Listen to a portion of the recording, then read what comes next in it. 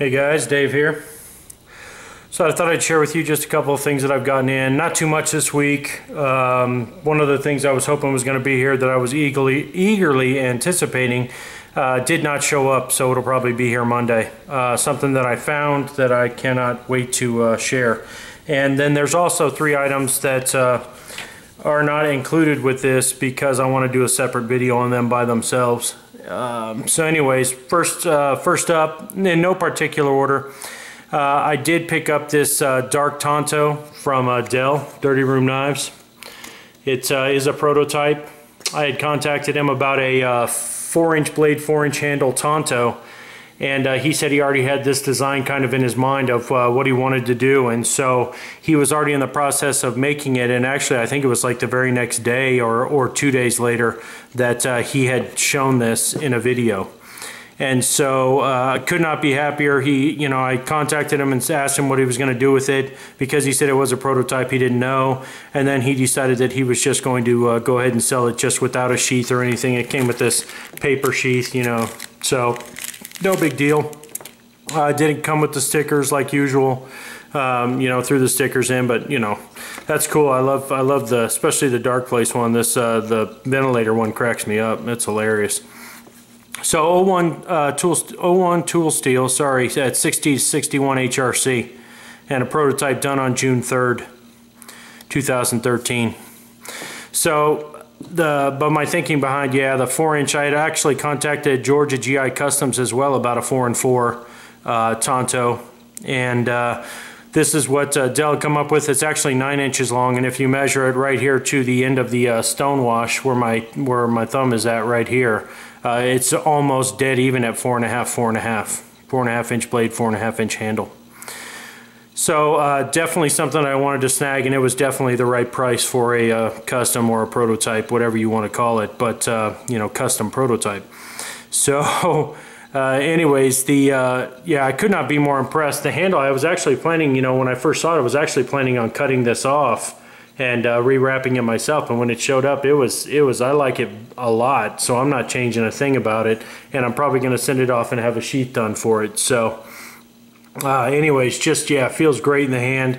Uh, love the swedge, even though it does not run the full length. Obviously, it's a good penetrator, anyways, and not a severe Tonto. You know, it does drop down, uh, you know, fairly dramatically, but uh, this is what he uh, came up with, and that's why it is a prototype. So, you know, why keep stuff around if you don't really want it? But one of the things that I did like a lot is that when I got it in reverse, this little ramp, this contouring that he's done with this ramp for the thumb, it just it's just got a perfect spot right there for you to rest your thumb on the back of it. And I just absolutely love it.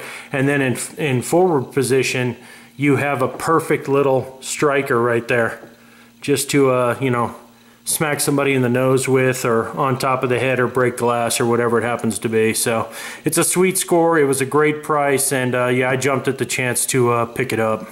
So thank you, bud. I appreciate that. The other day, him and I were joking around on uh, on Instagram. He had, uh, you know, somebody had liked a whole bunch of his pictures, and what you do is, you know, you copy and paste that picture, and then you post it again as saying thank you very much. You know, appreciate all the likes. And I and I, I was joking with him. I said, "Oh yeah, whatever. Forget all the likes." I said, "You know what we need is more cowbell." And you know everybody knows the joke behind Christopher Walken. You know what we need is more cowbell. So I opened up the mailbox today and of course I just drop it. I open up the mailbox today and I think it's come off actually, but I get this note in the mail and uh, what's on it is the smiley face and uh, more cowbell. So that is the uh, depravity that is the sense of humor of uh, Dell at Dirty Room Knives. So that really uh, cracks me up, man. That is hilarious. So he sent me some more cowbell because that's, you know, what we need, obviously. So uh, yeah, or at least what I told him I needed. So yeah, that is just classic, man. Thank you. I just got it out of the mailbox not like 10 minutes ago. So I thought I would uh, share that. But yeah, Clyde, this is all that was in there. Piece of paper with more cowbell and a pretty evil looking grin on it. So thought, thought I would share that. That is too funny, man. I laughed so hard when I pulled that out of the envelope. I thought it was hilarious. So now I've got more cowbell and I'm much better. Uh, Next up, I got uh, more of those titanium beads. I told you guys I had had some more on order, so I got two green ones right there, and then I got two blue ones, and then two more of the uh, copper or bronze anodized. Just a steal on these titanium beads. They're great for lanyards if you know you want to make them or whatever else. You know, you could use them for a lot of things, zipper pulls, whatever. But uh, you know, just a steal for titanium, and then they're already anodized beads. Uh, yeah, I know other people have you know beads that are a fortune, and uh, I got I got these for like 50 bucks for all six, and that's you know what eight something per bead. So that's just, I mean, that includes shipping and everything. That's just too good to pass up.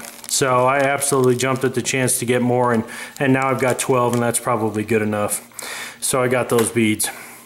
I did pick up a couple more. I've kind of been searching out Crusader, uh, I mean, uh, Steel Flame tags, and I did pick up two more. I got the uh, Crusader Warrior. That's the Crusader Warrior tag.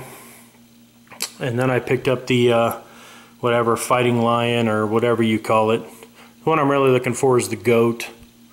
But you know, I mean, I, I'll take any. I don't really care. I'm just looking around for them. But I did pick up a couple more of these, and they are really sweet. So, picked those two up this week. And then uh, the other night, I was searching around on eBay, just goofing off, looking around. Really not. I don't do too much on eBay that much anymore because their fees have gotten so ridiculous and out of whack. But uh, you know, as for selling and everything, but. Um, there was a I'd been looking for a skirmish for a while, Benchmade skirmish, and one came up that was kind of uh, you know unique to me. And uh, because I've been looking for one, there was a couple things that I didn't want when it came to the skirmish, and I was not a big fan of the multicolored anodized dots and everything like that. So the guy had posted that he had one that was um, mayonized or you know Tom Mayo type. So I picked this up. I, I submitted an offer, and he accepted my offer and I picked this up and so the holes basically have been drilled out and uh, finished very well. And then also um, he has done this kind of a dark stone wash to the titanium. And then uh, on top of that on the blade he has stone washed the grind and everything up on top the swedge and the lower and then the flats are still satin finish here so just a tank of a knife. I've always wanted to get one. Uh, had a chance to get one a while back, and I passed on it just because of at the time I didn't, you know, didn't have the funds, uh, spending so much. So I just passed on it, which I, you know, I kicked myself, but it all works out in the end. I got one that I really like a lot, and uh, could not be happier to uh, get this. But yeah, just sweet looking, absolutely sweet. Love how this looks. Just a sweet knife, man. Benchmade skirmish. So snag that. And then uh, last but not least, this is a knife that uh, my buddy Good Climbing, uh, Bob had sent me. He wanted me, uh, he said he was going to be selling some more knives and uh, sent me an email saying that uh, if I was interested in any of them to let me know. And as soon as I saw this, Predator by Brad Blunt and uh, Alpha Hunter Tactical, I uh, absolutely said, yeah, send that to me. I want to take a look at it. Uh, I know Sebastian uh, scored one at Blade uh, from Brad, and uh, it was just one of those deals where, or he got it, yeah, he, I don't know, I think he got it from Brad, but anyways, he he's already done a video on this. The knife is just amazing. And carried this today, and I'm definitely going to be buying it. It's just too good a knife to pass up. Uh, one, you know, 187 on everything, 0.187 tie, 0.187 in 690 steel. Love this little thumb ramp on it. Just absolutely just fits my hand perfectly. The handle right here where it pokes out, it doesn't fit, you know, my wider grip so well, but it will, it's good enough. And the uh, reverse grip on this thing is just awesome. Absolutely love this reverse grip. So, uh, and I love that, of course, I love that, you know, Wharncliffe style blade. The one thing I wish the maybe the blade was a, maybe an eighth of an inch taller.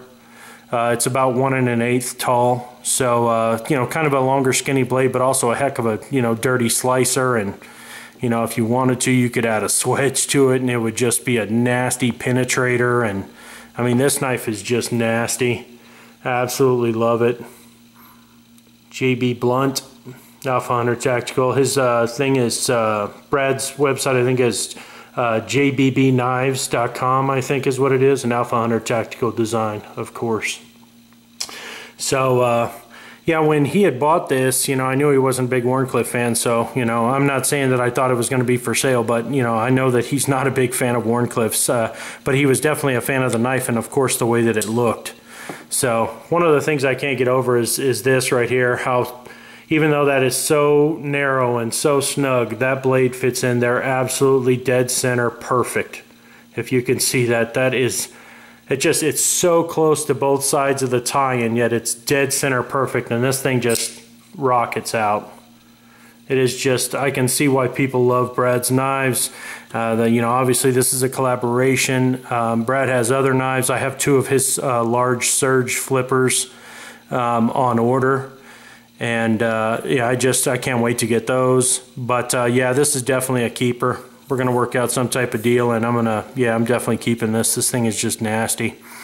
So uh, yeah, just another alpha hunter. uh, he was even joking with me earlier today that, you know, it's like, yeah, I can carry the A10 Alpha or, well, either one of my A10 Alphas. I have two. I have the prototype and then I have number one. And then uh, what's it called? I have my uh, two Namors and, and now this. So yeah, I could not be happier. Uh, and so thanks a lot for sending me this, bud. Really appreciate you, man. I'm going to give you a shout uh, just so I can say what's up because I haven't talked to you for a few days. So anyways, uh, but thank you, man, for sending this to me. This thing is absolutely amazing. What a great knife. So that's it. That is everything. That is uh, everything that I've gotten. Well, I mean, besides the, uh, yeah, the knives that I'm going to share. Separate video. Separate video for sure. So the uh, Dark Tonto, the couple steel flame tags, some tie beads, the uh, skirmish and then the uh, predator. So uh, I was hoping another knife was going to be here and it just did not get here on time. So obviously it'll be here on Monday. It was a knife that I've been looking for for a while and uh, I was actually able to uh, make an offer and get it. And so I can't wait to get that. Another fixed blade, just what I need. So anyways, I uh, hope everybody's enjoying their weekend. I'm to start uploading this and I'm to kick back and relax for a while. So I'll talk to you guys uh, maybe tomorrow for the uh, other video.